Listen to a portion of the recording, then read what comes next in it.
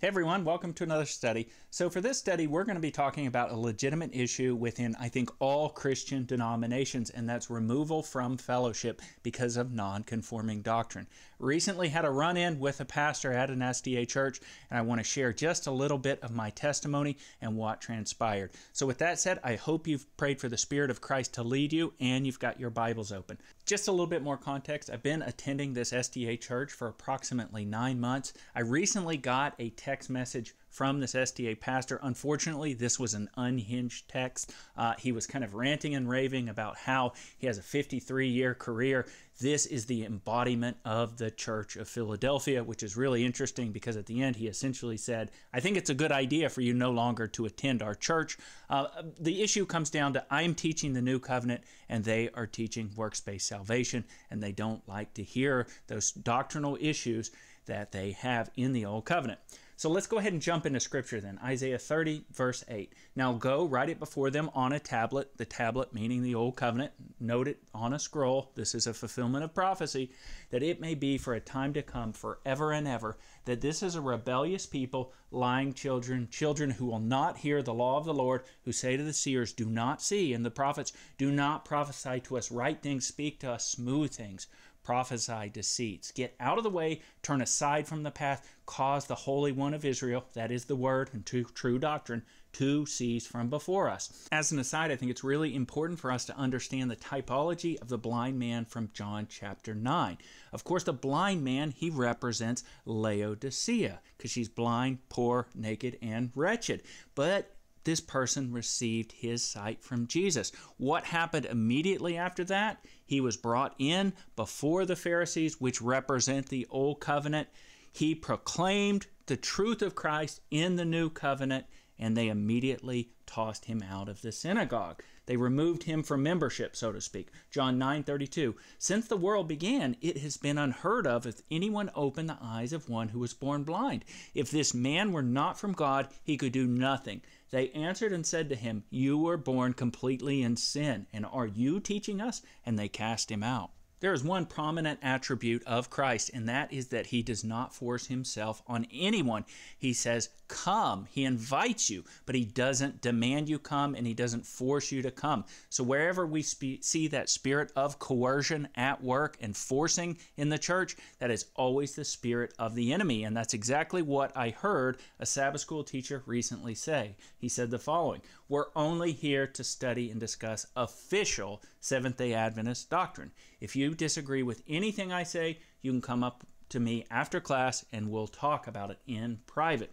So that is the coercive voice of the beast power and her daughters. It is only I. I'm not going to let any other voice speak. And if you want to talk, we can talk in private, but nothing will be challenged on a public stage. Zephaniah 2:15 This is the rejoicing city that dwelt securely that said in her heart I am it and there is none beside me how is she become a desolation, a place for beasts to lie down?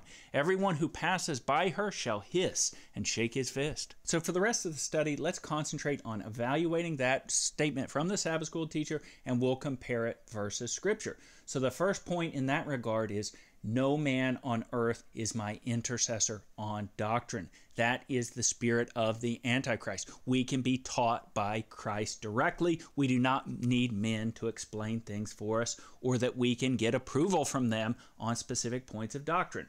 Matthew 23 6. They love the best places at feasts, the best seats in the synagogues, greetings in the marketplace, and to be called Rabbi, Rabbi. But do not be called Rabbi, for one is your teacher, the Christ, and you are all brethren. Do not call anyone on earth your father, for one is your Father, he who is in heaven. And do not be called teachers, for one is your teacher, the Christ. But he who is greatest among you shall be your servant. And whoever exalts himself will be humbled, and he who humbles himself will be exalted. 1 Timothy 2 5. For there is one God and one mediator between God and man, the man Christ Jesus, who gave himself for a ransom for all to be testified in due time. John 6:44 No one can come to me unless the Father who sent him draws me, and I will raise him up at the last day. It is written in the prophets, they shall be all taught by God. Therefore everyone who has heard and learned from the Father comes to me. So let's move on to point number two then. As we previously discussed, there is no coercion with Jesus. That is the beast power. Matthew 20, 24. And when they had heard it, they were greatly displeased with the two brothers. But Jesus called them to himself and said, You know the rulers of the Gentiles lord over them, and those who are great exercise authority over them. Yet it shall not be so among you. But whoever desires to become great among you, let him be your servant. Matthew 11, 18. Come to me, all you who are labor and heavy laden, and I will give you rest. Take my yoke upon me and learn from me, for I am gentle and lowly in heart, and you will find rest for your souls. For my yoke is easy, my burden is light. Revelation 3:19 As many as I love I rebuke and chasten therefore be zealous and repent behold I stand at the door and knock if anyone hears my voice and opens the door I will come into him and dine with him and he with me. Again Jesus doesn't barge through the door. We have to want him and invite him to come into our heart for him to do so. 1 Corinthians 14:38 But if anyone is ignorant let him be ignorant so, for the next point, let's look at what a Seventh day Adventist is. I can tell you what it is not. It is not a corporation with articles of incorporation, but rather it is a movement of people that recognize the blessing of the Sabbath and don't treat it as a curse with their little old covenant checklist.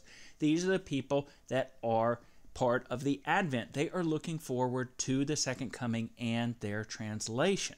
And that's what they are preparing for. Um, so then, true SDA doctrine is in accordance with the scriptures, not in accordance with the SDA corporation's creeds, including the fundamental beliefs, the church manual, or conversely, what the Sabbath school teacher, the pastor, or the general conference president says it is. 2 Timothy 3:16 All scripture is given by inspiration of God and is profitable for doctrine, for proof, for correction, for instruction in righteousness, that the man of God may be perfect thoroughly equipped for every good work. John 8:31 Then Jesus said to those Jews who believed in him, If you abide in my word, you are my disciples indeed, and you shall know the truth, and that truth will set you free. John 14:5 Thomas said to him, Lord, we do not know where you're going. How can we know the way? Jesus said to him, I am the way, the truth, and the life. No one comes to the Father except through me. So, for the final point, let's talk about the woman or the church that puts her doctrine above that of Scripture. And of course, this is the beast power or Babylon. So, if the SDA church does the same, then they have partaken of the amalgam beast of Revelation chapter 13. Acts 5:28 saying, "Did we not strictly command you not to teach in this name? And look, you fill Jerusalem with the doctrine and intend to bring this man's blood on us." Again, it comes back to doctrine. But Peter and the other apostles answered and said, We ought to obey God rather than men. Isaiah 3:11 Woe to the wicked it shall be ill for him. The reward of his hand shall be given to him. As for my people children are their oppressors and women or the churches rule over them. O my people those who lead you cause you to err and destroy the way of your paths Jeremiah 31:21 Set up the signposts make landmarks set your heart towards the highway. Of course the highway of holiness the way in which you went Turn back, O Virgin of Israel. Turn back to these your cities. How long will you gad about, O backsliding daughter? For the Lord has created a new thing in the earth. A woman or a church shall encompass a man, Jesus. So the final point is no matter which church you are in or which denomination, if you cling to doctrinal truth, you will be persecuted. But there is hope for us in Revelation 2 and verse 8 and to the angel of the church of Smyrna write, These things says the first and the last, he was dead and came back to life. I know your works, tribulation, and poverty, but you are rich.